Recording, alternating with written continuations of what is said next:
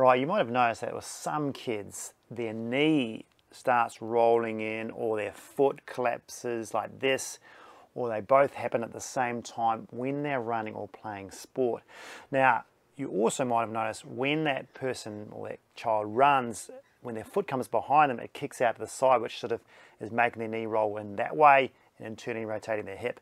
Now that's a pretty common thing, but if that's leading to sort of shin splint problems, okay, either the inside or the outside, or knee pain in a child, or even Achilles problems, then I've got some exercises to work on the strengthening and the neuromuscular alignment issue that's going on to try and help these kids out. It's also really good for injury prevention down the track when they get older because if you can get these exercises in at an early age, which is hard, but if you can get them in at an early age, then that helps their neuroprogramming and their strength for down the track. Now these exercises are pretty basic and pretty easy to do even just at home and you don't have to worry about too much load with these kids. You just need to get the muscles activated, get them working, get their brain thinking about alignment and getting it practiced lots of times to make it stick. So let's have a look at those exercises. Okay, the first and probably most important one we're going to work on is getting a hip external rotation correct or getting it working to try and help that knee control. And the reason we work up in the hip first is that there's a flow-on effect down through the knee and the ankle where those injuries are happening. So if we can affect the strength up here, which is usually one of the most common causes or problems of that knee rolling in, then we've got a better chance of getting this right rather than just starting down at the foot. So with this exercise, now this is clams, you've probably seen clams a lot before. Um, with this one with kids, you need a bit of cueing to try and help improve how they do it because if they just go and raise their knee up like this, they're usually just going to use sort of the thigh and a little bit of the side of the hip, which is not the things we want to work on. We want to work on your glutes. And so to get that working properly, what I give them is a few cues. The first one is imagining like there's a piece of paper stuck between their heels and they've got to try and squeeze that piece of paper first. So they're really pushing both calcaneuses together, okay, which gives them a bit of a trigger up from the brain down into the hip to try and get that muscle fired.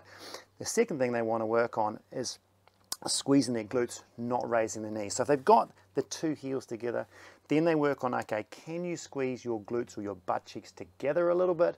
And that'll give them a sort of a pre-firing to get their knee up. And that's obviously, when you look at that, if they bring their knee up, that's going into external rotation. So they're going from internal to external. Now, the height, what we want to work on is just above the hip line, okay? They don't want to go just the hip line, they need a little bit more than that.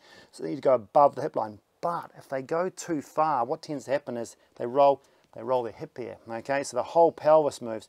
So you're gonna make sure that that doesn't move and they're just isolating the hip joint here by just getting that knee up. And the band here is a good little resistance to trigger them to try and resist against something. When we usually start off clams, we go without the band, but this purpose, the feedback for the kid is really, really good. So they can give a light band they can stretch on, then they know what they're sort of trying to do. They've got a resistance to pull on. Once they feel that tension, then they can go, okay, I know where to go. So raising the knee up above hip height, but making sure that glute is squeezed, the hip is turned on, the heels really pushed together, will give them a really good external rotation movement that is focused on the proximal part. So the clams are a really good one to start with. All right, the second exercise is working on their glutes again, but this time it's in standing, which is a nice little preparation into the single leg squat we're going to do in a moment.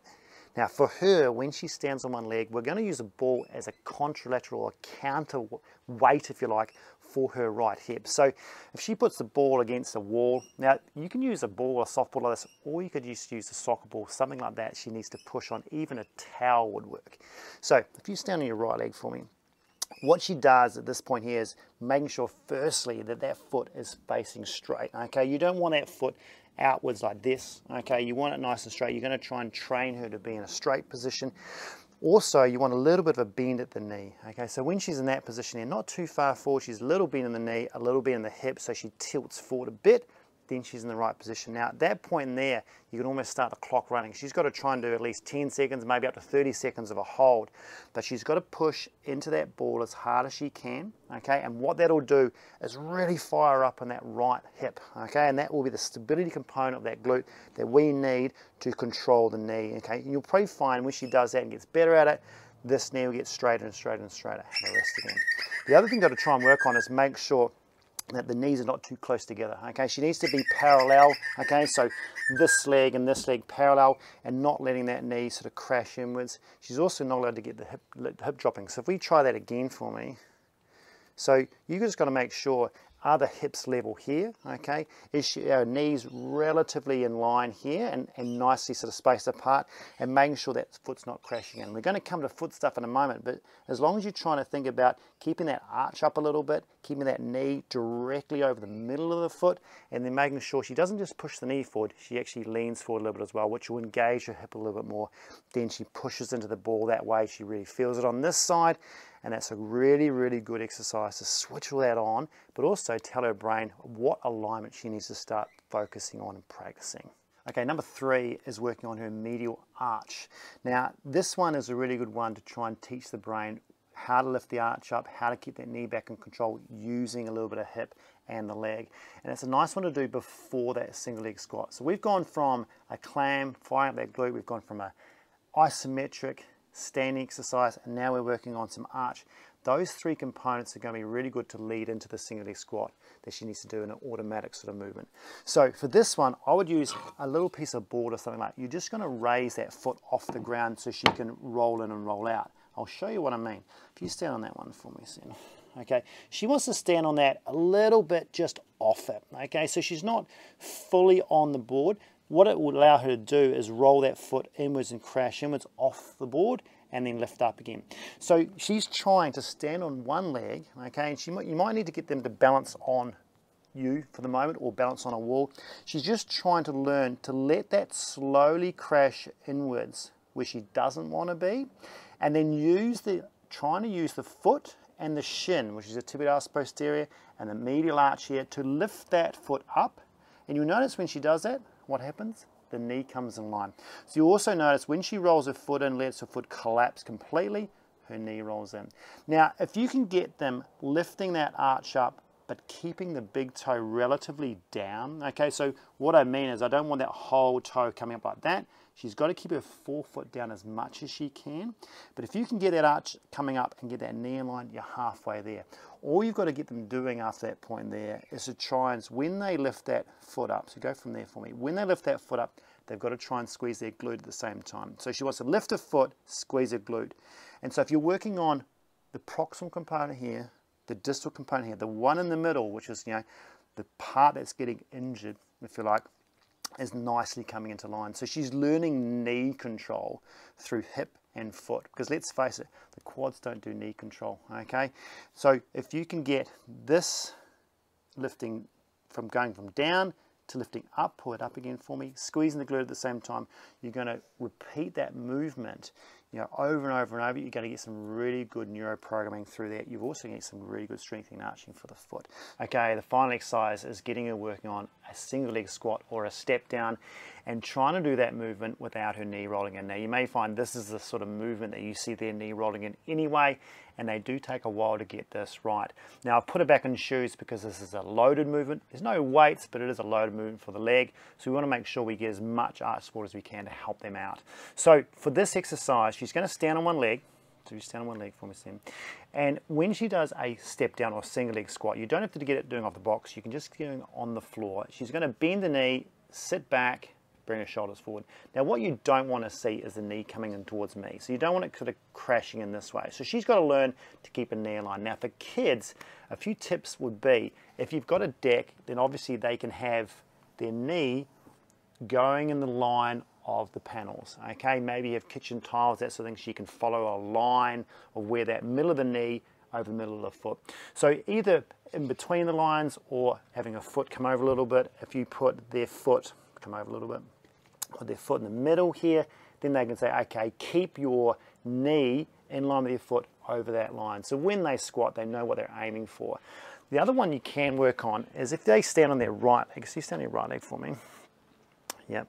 What I can do is, okay, if I get in front of them here, I can say, okay, when you do a one-legged squat, keep your knee in between my hands. And if you just focus, okay, if your hands are in the line of the foot, you keep your hands there. When she puts her knee forward, it stays in between the hands and doesn't touch each side of the hands.